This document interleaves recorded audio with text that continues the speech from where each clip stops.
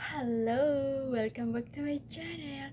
Sa mga baguhan dito sa channel ko, pakipindot na lang ang subscribe button sa baba ng video at isunod na rin ang notification bell upang sa ganoon is ma-notify kayo sa mga susunod na mga videos ko.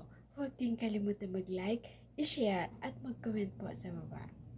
Ang pag-uusapan natin ay tungkol sa problema ng karamihan, lalong-lalo na yung mga mahilig uminom at saka mahilig ah, magpulutan.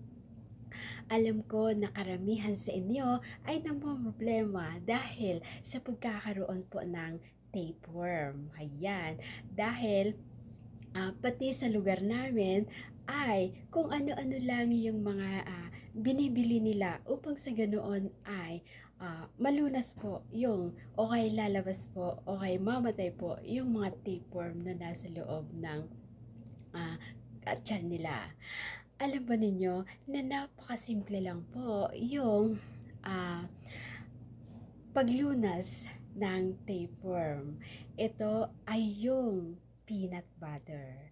Kukuha lang po kayo ng isang kutsarang peanut butter, tapos kakainin nyo lang at saka gagawin nyo ito araw-araw. So yun lang po yung napakasimple na gamot sa tapeworm upang sa ganoon is mawala po o malunasan na yung mga problema ninyo na lagi ninyong ah,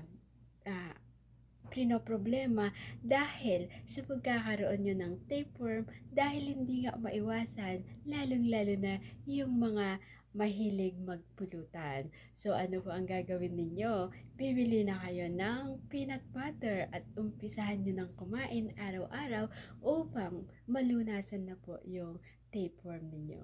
Maraming maraming salamat and God bless po sa ating lahat.